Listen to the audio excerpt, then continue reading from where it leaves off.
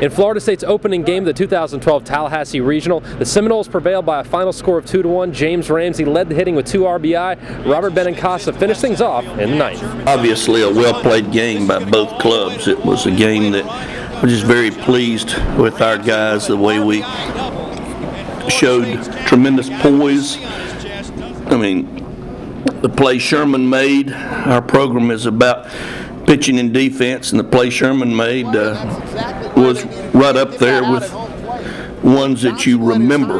You know, that's our mentality as a team. We don't have to get hits to score runs, and that's you know so encouraging. Those guys know they don't have to do too much. I know I, have one of the best in the country behind me. I don't have to do too much, and so it's very encouraging when you know that the guy in front of you and the guy behind you aren't pressing. Uh, we're in a situation where you know we're just trying to get better game by game. We focus one pitch at a time, and we just we really we're competing well tonight. And anytime I can get on base. Um, it doesn't really have to be a hit uh, when you have Devon and Ramsey and Jayce behind you. I mean, those guys are hitting in the high threes, 400 most of the season. So if I can get on base by hit by pitch or, or walk, uh, it's just a greater chance for us to score runs, and, and that's the ultimate goal for us on offense. It was a game that many, many people contributed, which has been the success of this club all year. It takes all of us to be successful, and we got a lot of contributors tonight. And we beat a very good baseball team. They they really showed me a lot. They're, they're extremely well coached and